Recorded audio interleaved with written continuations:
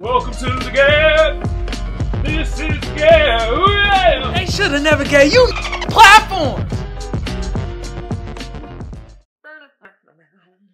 Ooh, y'all see the giggers? Uh. You know the Harlem Shake? I call this the Oakland Shuffle. What's good with y'all out there? This is another episode of The Gab.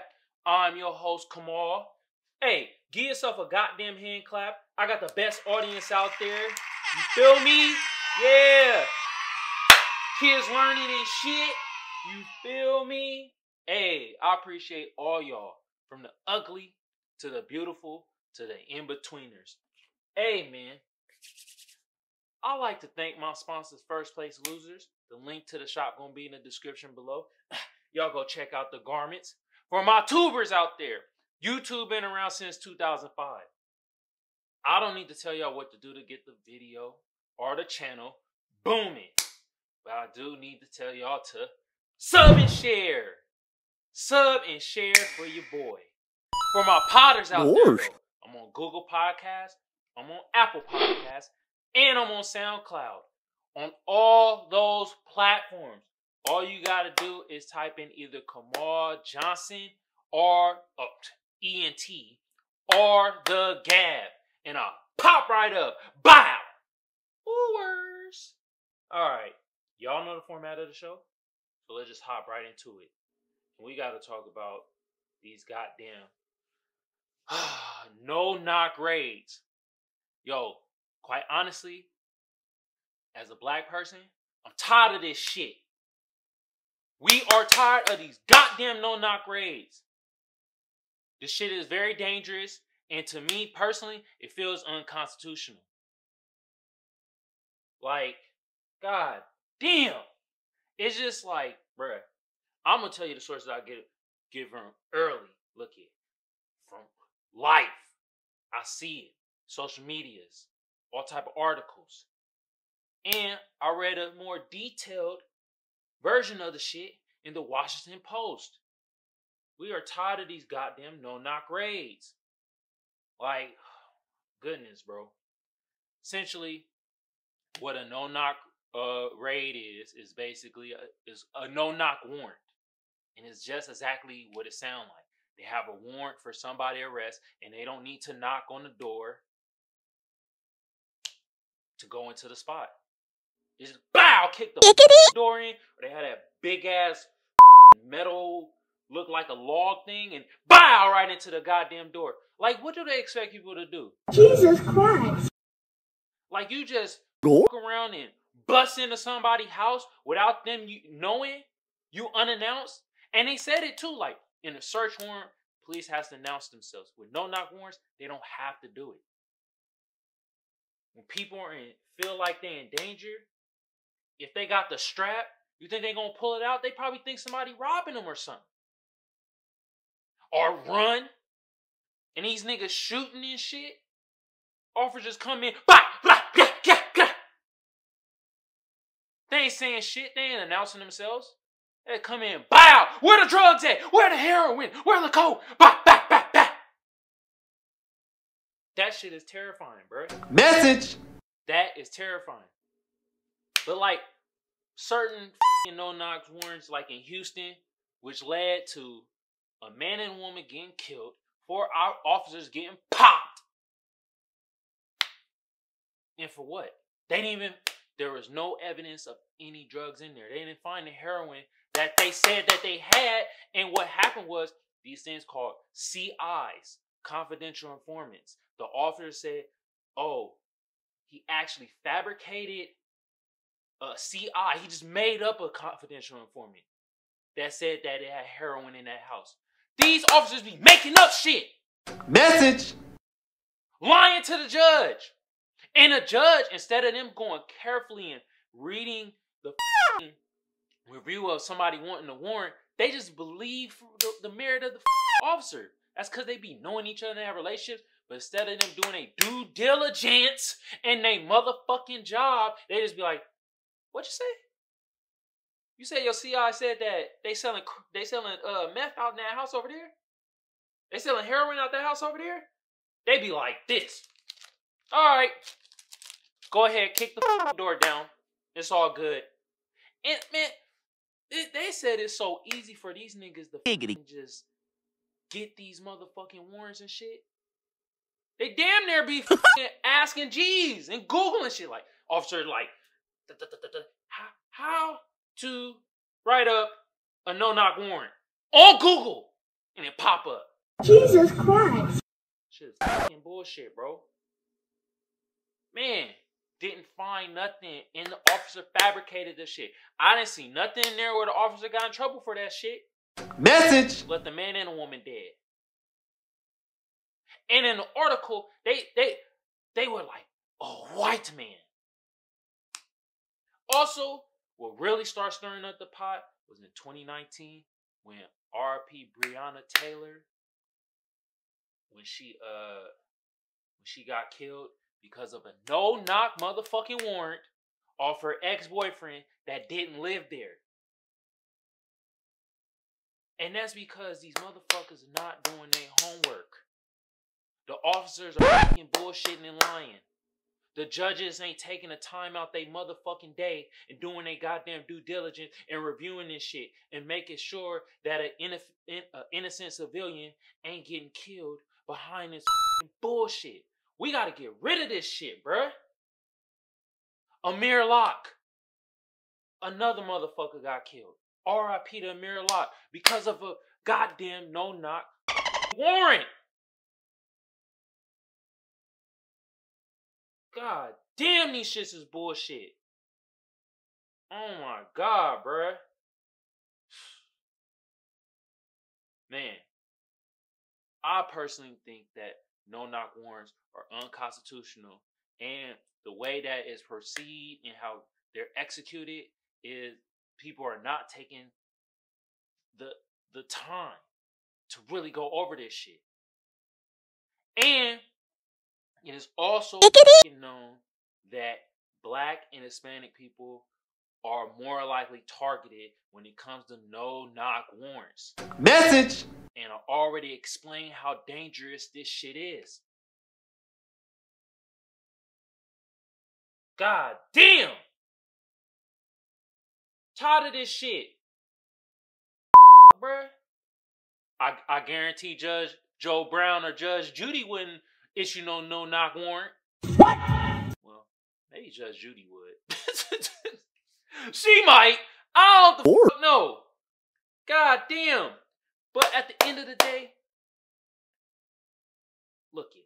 No knock warrants are dangerous for everybody. From the officers to the goddamn innocent civilians, even to the criminals that they trying to catch.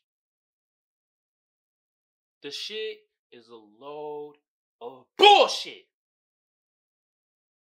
And we having a lot of our black and brown brothers and sisters getting killed off of no knock warrants. And personally, I am tired of the shit. Tired of reading about this shit. I'm tired of hearing about this shit. I'm tired of looking at one of a another of our black brothers and sisters that's f***ing innocent getting murdered. Yes, I said it. Murdered in cold f***ing blood because of a no knock warrant. Are these niggas acting surprised that if somebody do have a, a strap in their house to protect themselves and they end up popping some cops because they didn't know they were cops because of motherfuckers just bust through the goddamn door without announcing themselves and that person thinking they in danger. They thinking they getting robbed. What you gonna think in your motherfucking brain if somebody just bust through your door without announcing themselves? You gonna think that motherfucking intruder. And what's the American way? Protect yourself by any means necessary. You know what? I don't think that's American way. I think Malcolm X said that shit. but you know how it is, how Americans be trying to protect themselves at all costs, no matter the fuck what. Man. Look it, man. When it comes to these no knock warrants, I personally say you should get rid of them. But at this point, I don't think that's possible.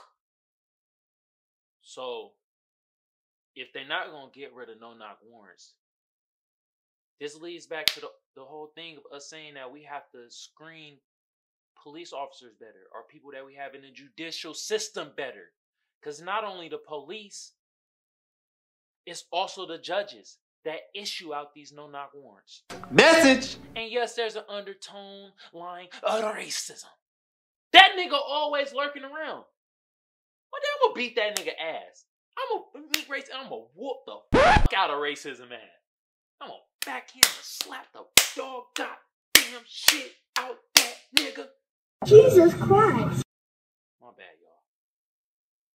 Getting a little aggressive. I'm trying to tone it down. And then CI's confidential informants. A lot of times them motherfuckers either lying or they don't even exist. Officers lie too. We have to remember, people.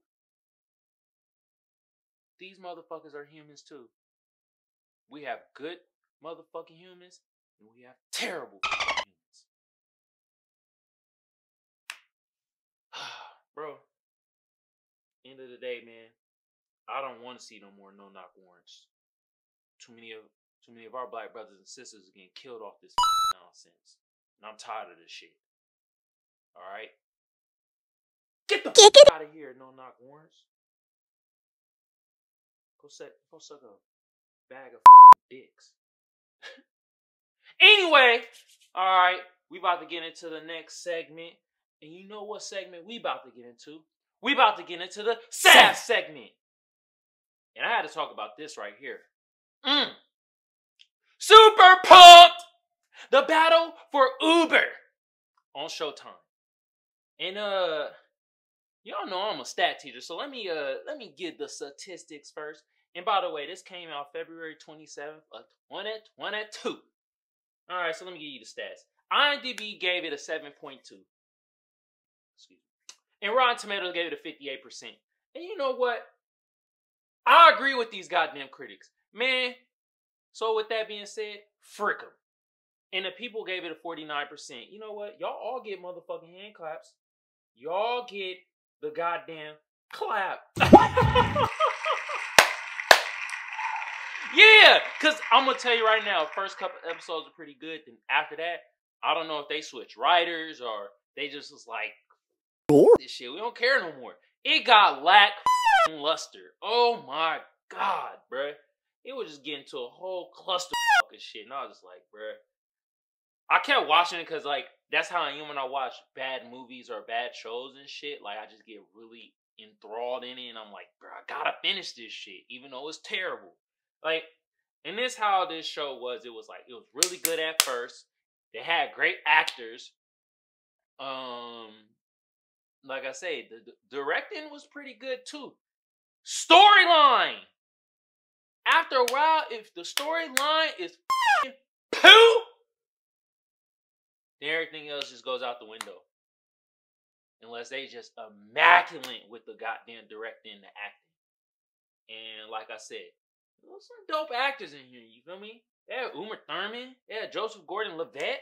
You feel me? They even had Kyle Chandler.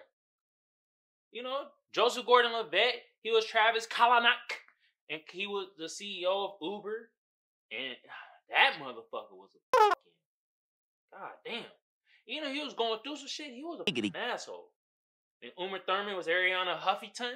You know, from the Huffington Post. And she was like very soft, soft and like very like zen and was helping out this nigga Travis. But man, then you Kyle Chandler, he was Bill Gurley. He was like the investor and the CEO and was like, you know, trying to help out Travis and shit. But Travis was on his own shit. And then they get like, all right, before I get into the dirty details, basically, this is showing the in the rise and the fall of the CEO of Uber.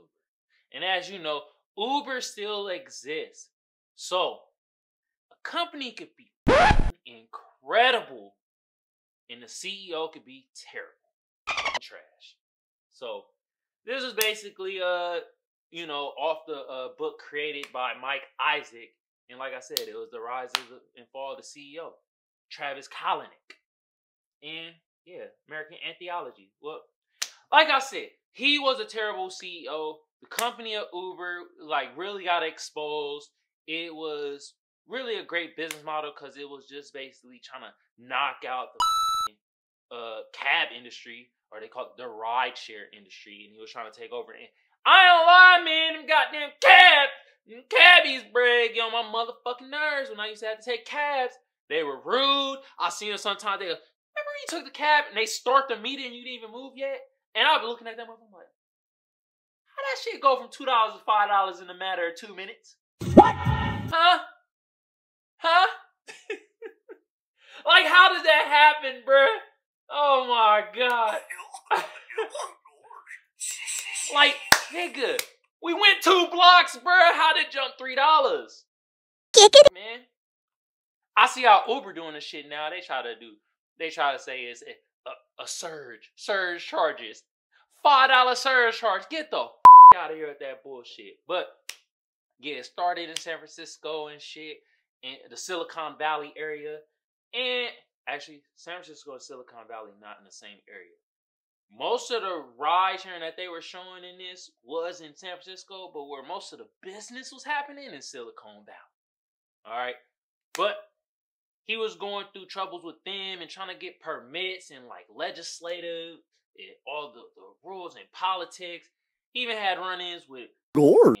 uh what's the nigga? It wasn't Steve Jobs. It was uh he never met Steve Jobs. Or they they didn't show him meeting Steve Jobs, but he met the per the owner of Google and them niggas kind of clashed. And then he was kind of clashing with uh Apple and shit cuz they were talking about we not about to have your goddamn app on the goddamn uh uh Apple store because we hearing about your company and you not only you disrespecting minorities, but you disrespecting women like a motherfucker. And it's true, like it was so much sexual harassment going on, and he didn't give a fuck about the goddamn employees except his own little close knit team. And like he got caught up one with a driver, and they sold the driver dreams though. They basically was like, come over to us, being a cab driver, come over to us. We'll give you stock, we'll give you little stock options, and you know we'll give you this, but you have to buy this type of car. And a lot of them got shitted on because they just got left in a bad deal and got left the car payments of like limousine or them, you know them Giggity. cars and Buick looking type cars or it look like presidential shit. Yeah, they got stuck with the payment of that. So, and one of the drivers had him on videotape talking about, it ain't my fault, it's you niggas' fault. Y'all should have read the fine print. Who the fuck read the fine print, nigga? Only fine we concerned about is beauty, not print. But hey, lesson learned. Hey, start reading that fine print out there. And if you don't know the jargon or to read it, hey man, we all all of us got a homie, or at least a homie of a homie, that's a lawyer or something. Come on, man. Let's do our due diligence, you feel me? You see how they do us out here? And why I'm saying us, cause the motherfucker was a minority that he fucked over. He's like a uh the nigga from like Palestine or Arabic or something. You know what I mean? But yeah, bro, he was like, bro, that's y'all shit. Then this nigga travels up relationship wise too. He left the older Asian chick, which had his back, was helping him out, and he always would call when he was in the bind, like, oh my god, I don't know how to talk to I need you. And she was always there for him, but at the end of the day, she was like, you know what, nigga?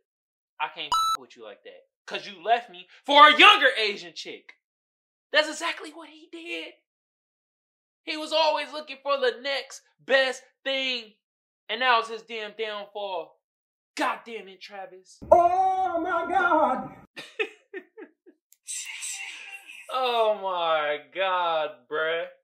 Always looking for the next best thing. Just how it is.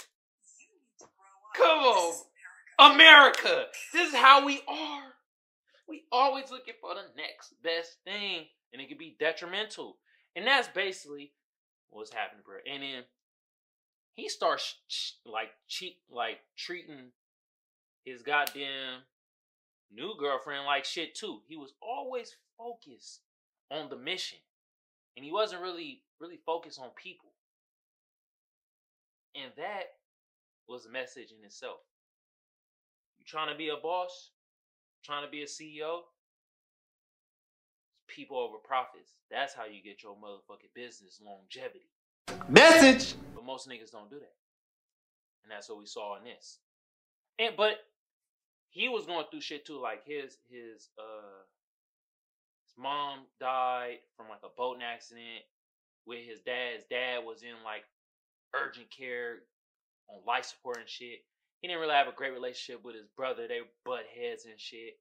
And like one of his um uh one of his uh like best friends and then also his colleague that Bill Gurley brought in, that nigga backstabbed him. Them niggas was talking too much in meetings. Uh reporters were putting them over because they were saying shit like, oh, this is gonna be what's that reporter lingo they say? This is off the books. It's never off the books. It's always on the books.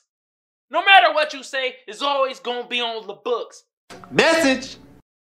Both Travis and that other nigga was talking way too goddamn much. Jesus Like I Christ. said, he was he created too many enemies in my opinion. He had too many enemies.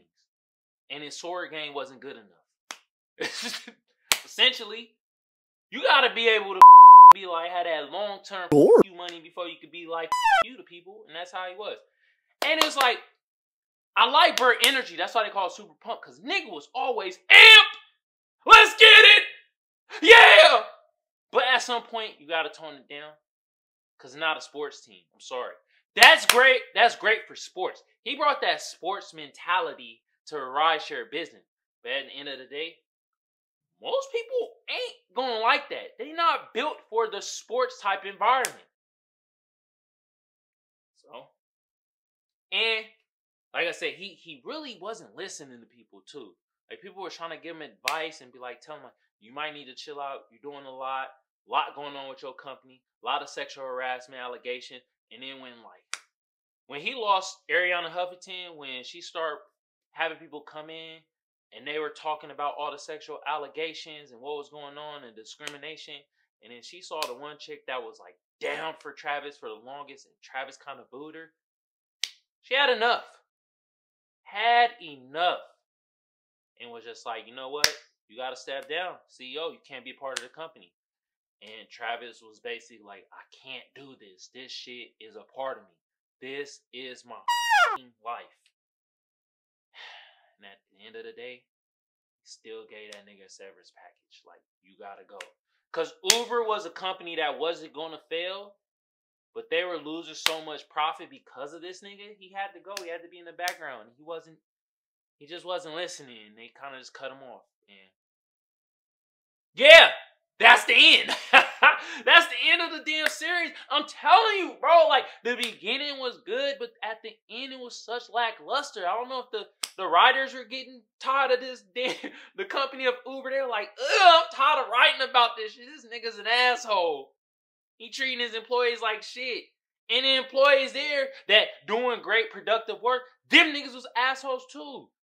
All types of sexual allegations and sexual harassments and mistreating other motherfucking workers, especially minorities.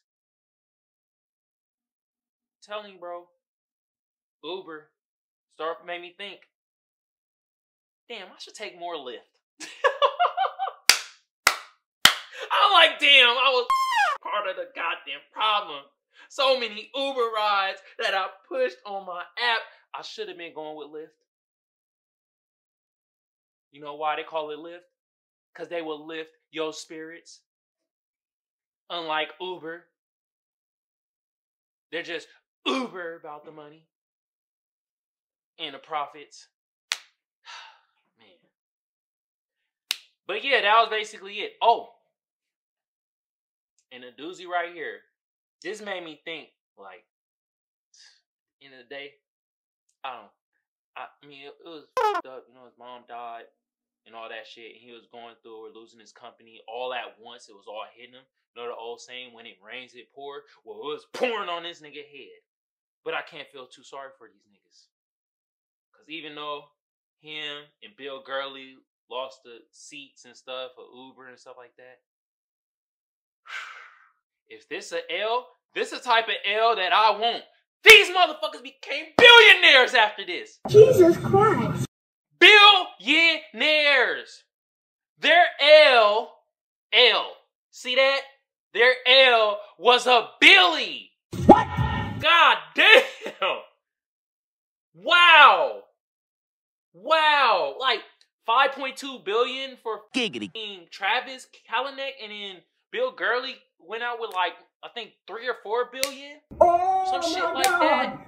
Arian uh, Huffington, they didn't even announce her payment. She probably had buku bucks. She probably got paid the most. Everybody in that company, and they showed off that show, they all walked off with billions or hundreds of hundreds of hundreds of millions. They still walked off good at the end of the day. And that was their L. When the other motherfucking employees that were driving and riding for them, their L's were losing their homes, couldn't pay their bills, even lost the car that they were leasing. See the difference of their L's? The common people L compared to them rich, greedy bastards L. Bruh. Man. But yeah, man. Hey, I ain't look it. If y'all would have just kept it how the first three episodes were and kept that writing with that suspense and kind of, I'd have gave y'all hand claps. But you know what? Y'all get who's. But like I say, man, look it, man. That was a uh, super pumped. The Battle of Uber on Showtime. Like I say, I don't deter you or encourage you to watch these movies, these shows, or these albums that I review. Do what the hell you want. I'm just giving you my opinion on it. And like I say, shit was fucking poo. yeah, I see why they were super pumped. Shit, super pumped to become billionaires after all the fuck shit they did. Damn. Super pumped. Travis Kalanick. Cause he was a Or dick. That guy. Alright, y'all know what time it is. It is. Meme Time, and I got some juicy memes for y'all. Alright, bro. So, you know, first topic we talked about, we talked about the no knock warrants. And that shit shouldn't be no more. Bullshit. But I did find a meme that was kind of funny that goes along with it. And they got the SWAT team and police breaking a goddamn glass door, just got glow, shattered to shit. And it reads, trick or treat, redressed as terrorist. Jesus Christ. Terror, yeah, nigga, these niggas are terrorists, bro. What the f- God damn. Damn, they be coming in. They don't even say nothing. They just come in with the. That's what they do first. They don't announce themselves. They come in bussing. God damn. I had that. That was kind of funny though. I'm like, yeah, they are. giggity. man. All right, all right. So we know we did, you know, Uber. We talked about Super and the rise and the fall of the CEO, Trevor Kalanick. I heard his name is, and we all done did the Uber app, and this done happened to me before, and I know it done happened to you out there. So it has the Uber app, and it has you know the car where it usually show you your driver and where it's at. And somehow the driver name is Danish. And somehow Danish is in the middle of the ocean. What? How the did they get there? I don't know. But it shows them in the middle of water. And it reads, I think my Uber driver is in trouble. And the text read, You good? Hi. On way. See, that's how you know it's because they didn't say hi, I'm on the way. It says hi on way. All right. So I think they're saying they hi on way. and it says, am lost. And then it reads for another person, how did this happen, Denise?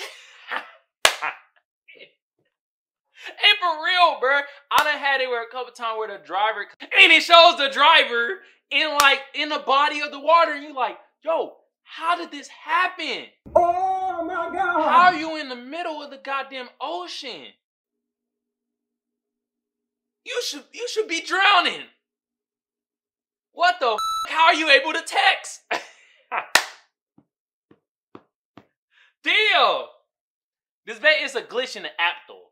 But also these motherfuckers do this shit because they gonna cancel their walk their ride so they can get that easy five dollars. Yeah, you thought you thought I didn't know that trick out there, drivers. You thought I didn't know, but god damn it, I done Uber before and I knew the ins and outs of the shit, okay? Damn. but I hope Denisha's okay, because it looked like they in, in the body of water drowning. Alright. I had to get another Uber meme for y'all because I saw this and this shit was hilarious. And it has a cat in one of those uh, those little driver little kid car things or whatever, and the cat rolling, and they got not only the Uber, but they got the Lyft on there too. Oh, so y'all y'all switching sides, huh? Y'all double dipping. Cat out here double dipping. You gotta choose a side, player. Can't be double dipping. Alright? and it reads, Hey, it's your Uber driver here. Am outside. Nigga, the terrible English. Bro, this is how they be texting. You be like, what are the f- you saying? But it makes sense because they be te- they be picking up a lot of drunk and high motherfuckers, and them niggas ain't texting good either. They be like, outside here. You be like, here? Mean outside question mark where you at or where? Like nigga. yeah, they texting like a cat. That's what it is. They everybody texting like a cat. This how te- this how cat text.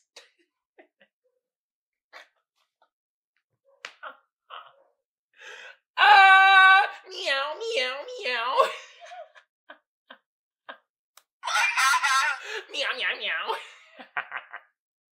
oh my god, bruh.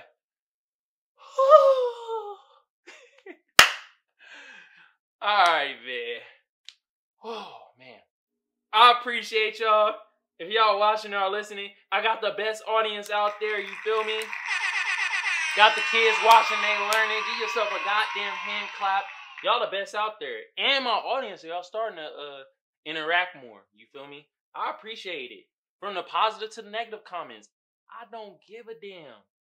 I just love y'all interacting. Mm, thank you. I'm your host, Kamal. Once again, is another episode of The Gab. I like to thank my sponsor, First Place Losers. The link to the shop gonna be in the description below. Y'all go check out the garments. They're so soft on the skin. Oh. For my tubers out there, YouTube been around since 2005. I don't need to tell y'all what to do to get the video or the channel booming. But I do need to tell y'all to sub and share. Sub and share for your boy. For my potters though, I'm on Apple Podcasts, I'm on Google Podcasts, and I'm on SoundCloud. All you gotta do is type in the Gab or Kamal Johnson ENT. Bam! And I pop right up. Ears! Man, on that note, I'm out of here. Peace out, y'all. Hey, man. I'm gonna have to stop taking Uber and take Lyft, man. Cause uh, Uber a wild company. I ain't even had no idea. This was good. This was good. Ooh, yeah.